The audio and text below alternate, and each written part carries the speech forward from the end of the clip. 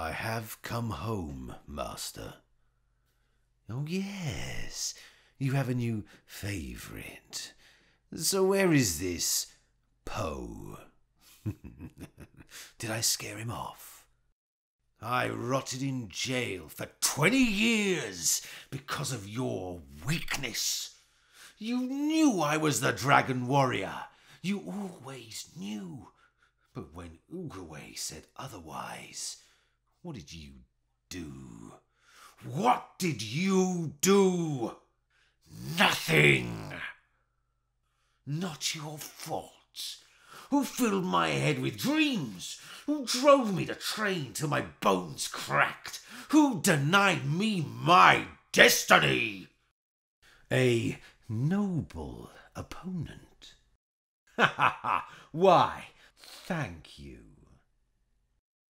I have been training my whole life for this.